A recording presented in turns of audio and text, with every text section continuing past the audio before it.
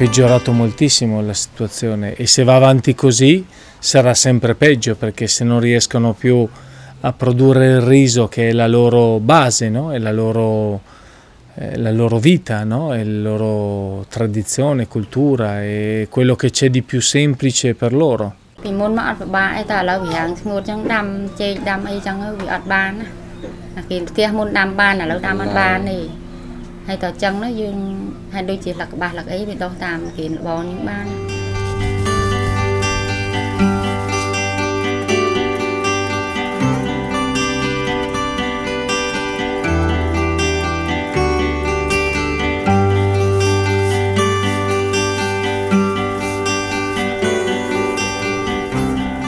they get more asset and they also earn more money and they also produce more crop and uh, they have more diversified uh, uh, farming system. So this is uh, helping them to better cope with the uh, climate change such as drought or flood.